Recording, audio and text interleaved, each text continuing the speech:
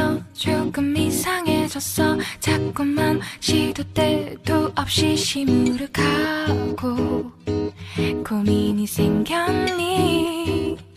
음. 초등학교 영어 수업 시간에 배웠었던 현재 진행형 같아. 하루에 열 번 내 맘이 움직여.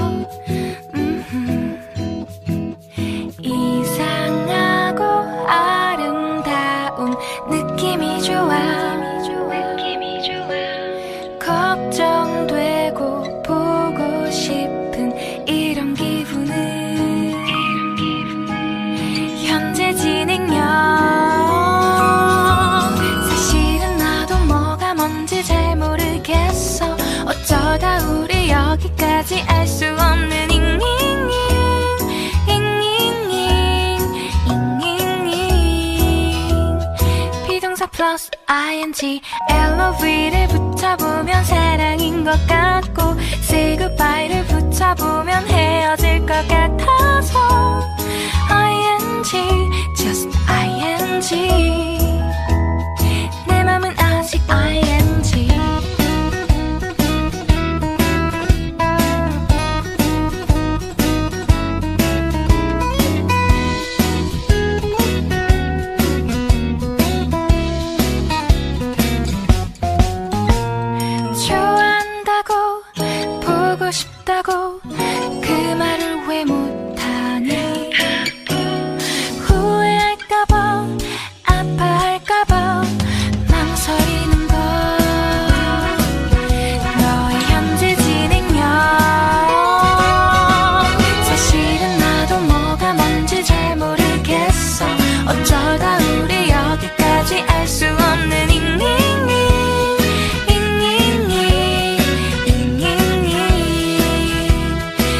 동사 플러스 ing LOV를 붙여보면 사랑